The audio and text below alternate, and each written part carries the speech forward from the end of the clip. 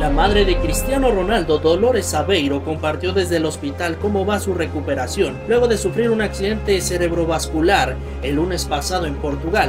Mediante sus redes sociales, Dolores explicó que en unos días volverá a su rutina normal y que todo no pasó de un susto. Aveiro se dijo afortunada y agradeció el apoyo recibido y los cuidados del personal médico del hospital Nelio Mendoncao de la ciudad de Funchal. También le agradeció a su familia, entre ellos el jugador de la Juventus, igual dedicó un mensaje de agradecimiento por la preocupación de sus fans por la salud de su mamá.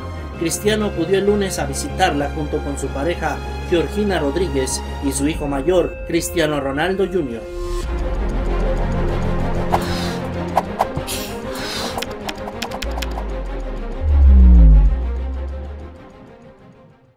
Ya que nos encontraste, no nos pierdas. Suscríbete a nuestro canal de YouTube de Telemundo Deportes.